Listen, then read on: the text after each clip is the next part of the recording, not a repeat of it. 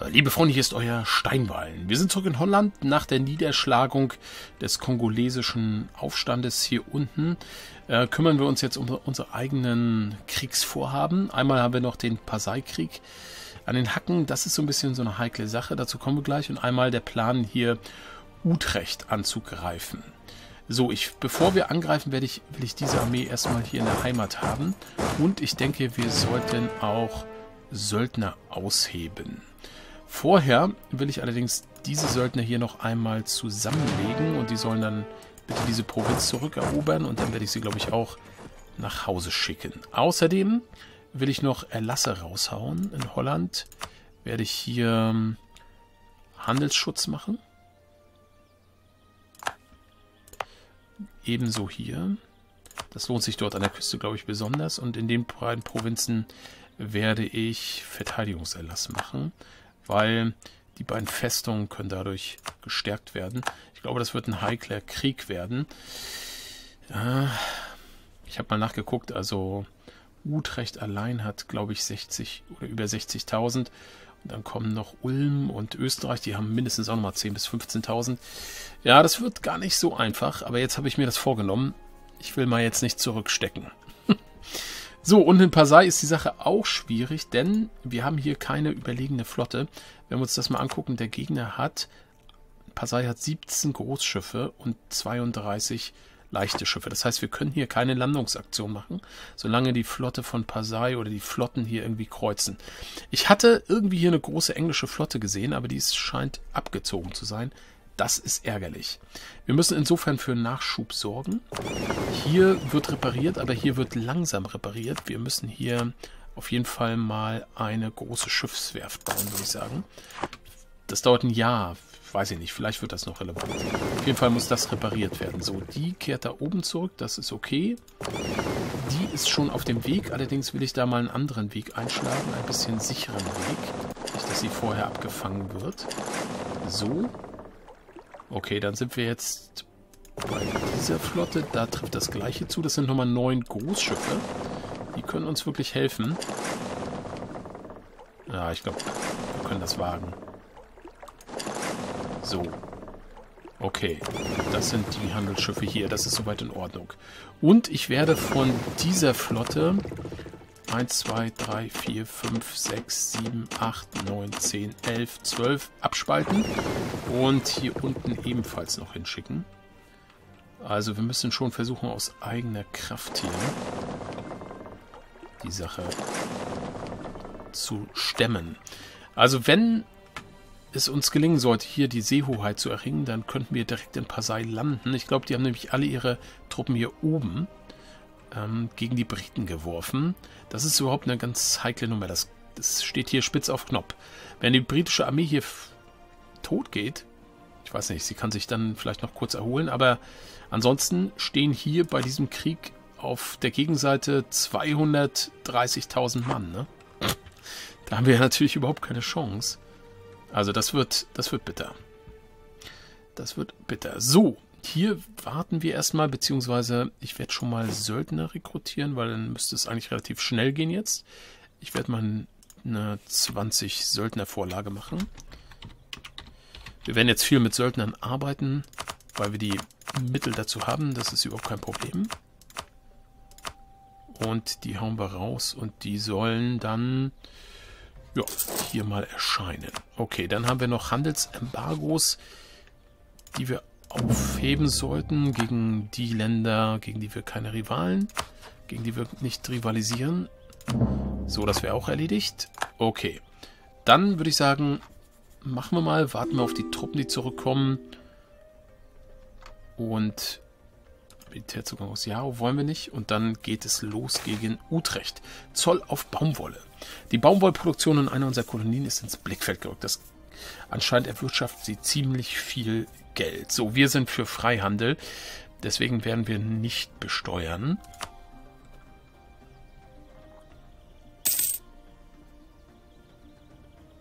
Okay, die Söldner sind da. Die 13... Halt, warte mal. Genau, die Armee ist noch nicht da. Das dauert länger, als ich erwartet hatte. Hier unten... Die Truppe Ja, die braucht noch... Ne, die braucht nicht mehr lange. Die will ich dann nämlich auflösen. So, zack. Jetzt hat sie das erledigt, Job erledigt, kann nach Hause gehen. So, dadurch steigt jetzt wieder unser Söldner-Limit. Okay.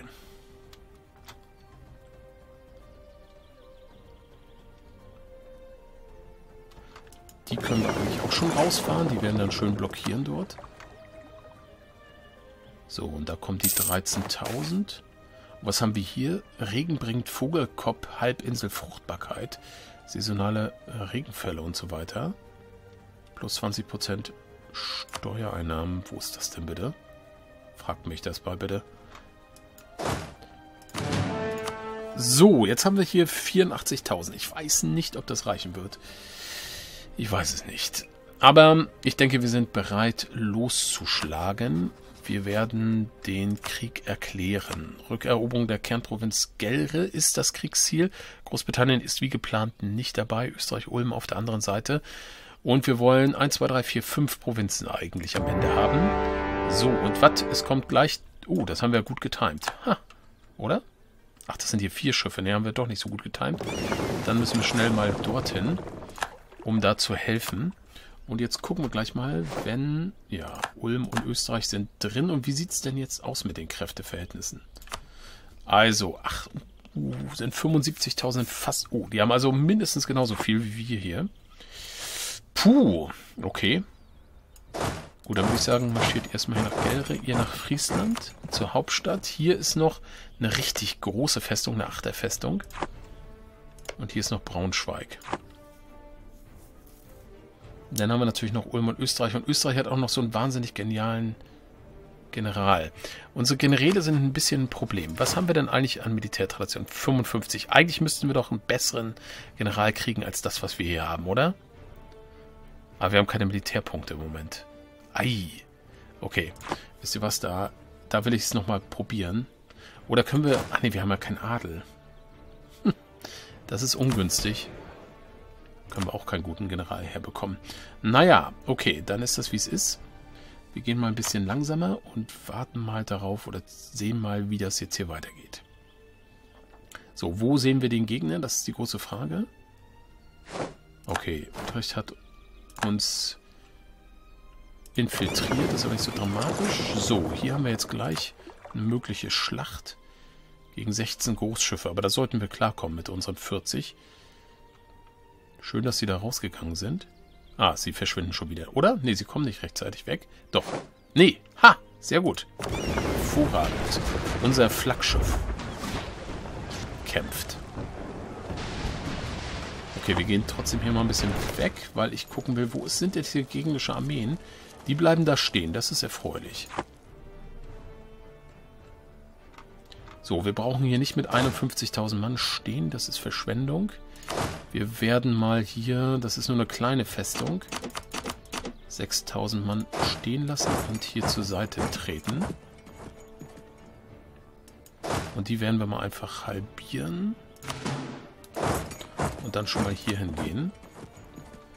Aber wo ist der Gegner? Der wird sich ja wohl jetzt hier nicht versteckt haben, oder?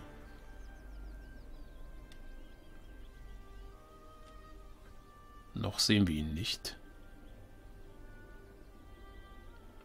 Wisst ihr was? Ich brauche hier ein bisschen Tempo. Ach nee, ich habe ja keine Militärpunkte. Die wollte ich ja für den General verwenden.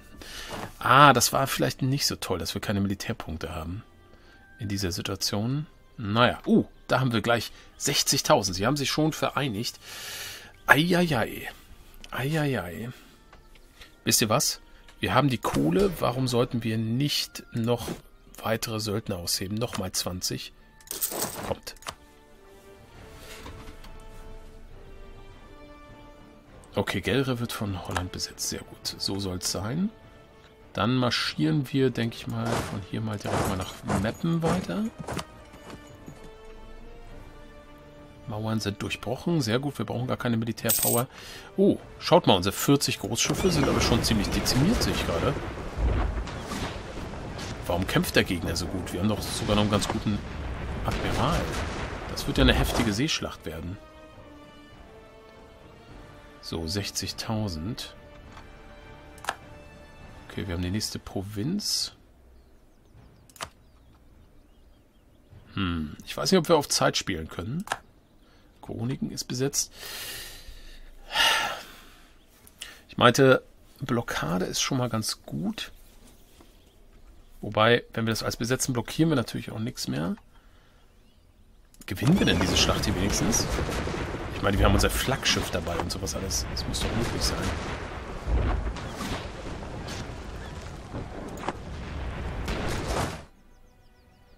So, der geht da weg. Wisst ihr was? Wir werden mal folgendes machen. Wir werden jetzt mal nur mit einer mit zwei Kavallerieeinheiten hier nochmal rübergehen. Und die Armee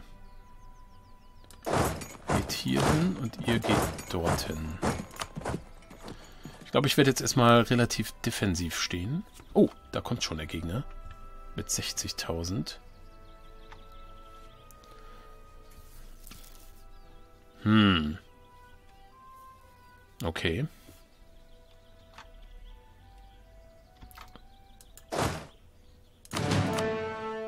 So, wir haben hier weitere 20.000. Diese blöde Seeschlacht. Haben wir jetzt irgendwie Verstärkung bekommen? Ja, Neuheuler, Holland ist dazugekommen. Okay, wow. Zwölf Schiffe auf unserer Seite, neun auf der gegnerischen. Damit habe ich jetzt echt nicht gerechnet, ehrlich gesagt. Das sieht so aus, als müssten wir ein bisschen reparieren, oder? Warum sehe ich das nicht?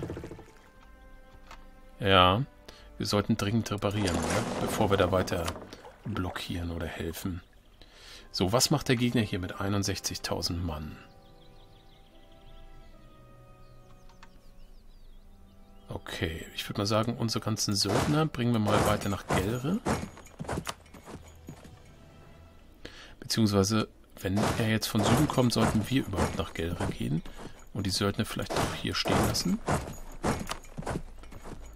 Er will möglicherweise Keulen angreifen. Könnte ich mir vorstellen. Nee, er, er, geht direkt offensiv gegen uns, oder was? Hm. Oder er geht gegen Utrecht. Aber da hat er den Geländemalus dann ich weiß nicht, was er vorhat. Also, okay, wir haben Mappen besetzt und wir haben auf jeden Fall das Kriegsziel, was nicht ganz unwichtig ist. So, jetzt bleibt er dort stehen. Okay, jetzt gucken wir uns das mal an. Puh, das ist komplett von Flüssen umgeben. Das ist keine schöne Situation, um da reinzugehen. Ah, warte mal, wir haben 50 Militärmacht. Das nutzen wir, um uns einen einen General zu leisten und einen Schma Ich hoffe, der wird gut, Leute. Kasper Hilversum. So, was ist er für einer? Jawoll, jawoll, hervorragend. Ein Fünfer Nahkampf. Das ist jetzt richtig gut für uns. So, Kasper, du wirst unser Mann. Und ich denke, einen müssen wir auf jeden Fall rausschmeißen von denen, die wir jetzt haben. Also entweder Hugo den Bog. Der hat acht Pips oder er hier, der hat auch 8. Hm. Ich tendiere dazu, ihn rauszuschmeißen. Franz Overeissel. Wobei Belagerung 2 ist auch ganz nett. Ja, dann wäre er der Belagerungsexperte. Dann schmeißen wir Hugo den Burg raus. Okay. So, immerhin. Jetzt haben wir zwei Sterne. General. Das ist doch schon mal nicht schlecht. Aber ich wage es, ehrlich gesagt, jetzt nicht hier diesen Angriff zu fahren. Ich glaube, durch den Wald und den Flussmalus sind wir hier deutlich im Nachteil. Das ist irgendwie nicht der richtige Moment. Wie sieht es eigentlich hier aus? Provinzanzeigen hat, wie kommt man hier rein? Berg und Limburg. Das heißt, hier würde man von dort ohne Flussüberschreitung reinkommen. Das nützt uns nichts. Ja, der gut gedeckt. Nicht schlecht gemacht. Hm. Gut, dann werden wir da oben erstmal ein bisschen besetzen, würde ich sagen. Wir haben keine Manpower-Verluste, das ist auch okay. So, wir haben die nächste Provinz. Wir gehen jetzt hier mal, soweit es geht, noch weiter. Mit der Kavallerie, da müssten wir auch bald durch sein.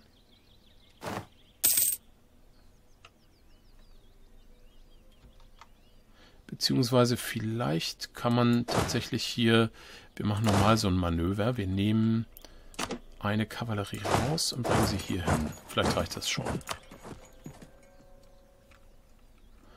10%, aber hm, das heißt noch nichts. Ne? Das heißt noch nichts. So, 12.000 Mann marschieren dorthin. Das ist interessant. Das sind die Österreicher mit ihrem Drei-Sterne-General. Jetzt ist die Frage, kann man das irgendwie nutzen? Kann man das irgendwie nutzen?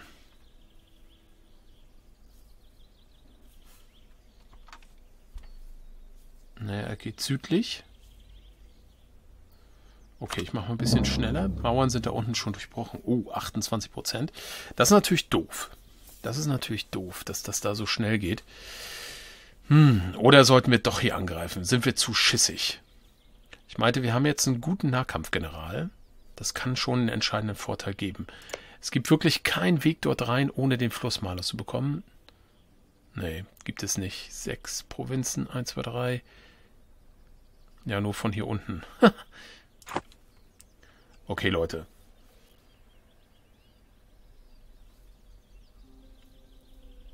Gehen wir rein. Wir haben hier, ja komm, wir haben hier ausreichend Männer. Wir gehen rein, komm, wir, wir fügen den hier noch hin und dann timen wir das irgendwie noch einigermaßen und dann geht's los. So, also gucken wir mal, wie das aussieht. Okay, erst am 31. März, erst am 2. April und erst am 5. April dort. Das heißt, wir lassen ihn und... Naja. Mal zwei Tage vergehen. Oh, jetzt habe ich zu viel gemacht. Jetzt habe ich zu viel gemacht, Leute. Zu viel. 4. April, 2. April, 5. April. Da kam mir diese blöde Nachricht. Ent, äh, naja, versuchen wir unser Glück. Versuchen wir unser Glück. Es wird eine heikle Kiste. Möglicherweise setze ich hier schon den ganzen Krieg auf dem Spiel hier. Vom ersten Moment. So, jetzt wollen wir noch zwei Tage warten, bis der eigentliche General da ist. Komm, komm, komm, komm, komm, komm. Machen. Achso, ich müsste auch die Pause beenden. So, 90.000 gegen 60.000. Das Gelände steht gegen uns, der General steht auf unserer Seite. Würde ich mal sagen. Spricht für uns. Jetzt ist die Frage, kann der Gegner hier noch was ranbringen? So, da oben haben wir auch erobert. Fügen wir die mal hier zusammen und bleiben jetzt bei dieser großen Schlacht hier. Der ersten großen Schlacht. Die Schlacht von Kleef. Aber wir verlieren zu viel Moral. Was ist denn das? Oh mein Gott, Leute. Oh mein Gott. Oh mein Gott. Oh mein Gott, ist das knapp. Unsere zahlenmäßige Überlegenheit bringt uns im Moment, ehrlich gesagt, eher wenig. Was ist denn das hier? 1000 Mann wurden erledigt. Aha. Aha, da kommen nochmal 13.000, die jetzt nochmal alles leider zum Negativen wenden könnten. Bitte, bitte, bitte. Kämpfe, kämpfe wie ein Held, Kasper. Oh mein Gott. Acht, sechs, 9, 0 gegen 0. Jawohl, Leute, jawohl. Nein, nein, nein, drei, nein, das ist die Niederlage. Das ist die... Oh mein Gott. Das wird auf jeden Fall... Ich mache mal kurz Pause. Ich kann es im Haushalten. So, wir haben jetzt 11, 9 gegen 4, aber die Moral ist erbärmlich. Und es kommt weiter Verstärkung zum Gegner. Nochmal gut gewürfelt. Jetzt schlecht gewürfelt. Das ist die Niederlage, Leute. Wir haben verloren! Wir haben verloren und wir haben nein, nein, nein, das ist so bitter. Oh mein Gott. Oh mein Gott. 37.000, 42, 44, 45.000 der Gegner, aber auch 35.000. Also wir haben 10.000 mehr als der Gegner verloren. Naja, wir haben volle Manpower. Ja, aber ärgerlich ist es trotzdem. Und hier sind, stehen wir bei 64%. Und es passiert nichts. oh mein Gott. Verdammte Axt. Verdammte Axt. So, hm. Naja, jetzt müssen wir uns irgendwie regenerieren. Äh, und er kann uns natürlich da jetzt total abschneiden und wir haben keine Transportschiffe oder sowas. Ich will aber jetzt nicht diesen Belagerungsfortschritt aufgeben.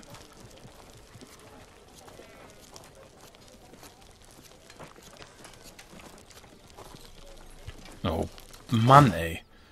Mann, Mann, Mann, Mann, Mann, Mann, Mann, Mann, Mann. Ich denke, ich werde Folgendes machen. Ich werde die Söldner abspalten, zusammenlegen und neue Söldner dann noch holen. Geldmäßig hätten wir es eigentlich. Also, pff, ja, es ist bitter gewesen, aber es ist, der Krieg ist nicht verloren. Das würde ich auf jeden Fall sagen. So, wie sieht es jetzt hier unten aus mit unseren Schiffen? Leider ist die Werft noch nicht da. Wir haben jetzt neun Großschiffe, 27 Leitschiffe, aber die Großschiffe sind vor allem angeschlagen. Haben wir aber jetzt vielleicht mal die... Nee, schaut mal. 4 und 21. Das ist mir zu knapp. Haben wir... Oha. Sehe ich hier die britische Armee vernichtet? Ach du Schreck. Das übt natürlich jetzt massiven Druck auf uns aus. Hm. Das heißt, hier müssen wir uns gut überlegen, ob wir vielleicht in einem, in einem schnellen Akt, wie viel Transportkapazität haben wir hier? 30. In einem schnellen Akt hier nach Pasai fahren und dort ausschiffen. in der Hoffnung, vielleicht noch schnell die Hauptstadt zu erobern und dann irgendwie, keine Ahnung, weißen Frieden vielleicht sogar irgendwie rauszubekommen oder ein leichtes Plus. Ich weiß es nicht, Leute. Ich bin verzweifelt ein bisschen, aber auch ein bisschen hoffnungsvoll. Es ist auf jeden Fall unfassbar spannend. Wir sehen uns wieder in der nächsten Folge. Bis dann macht's gut, euer Steinball.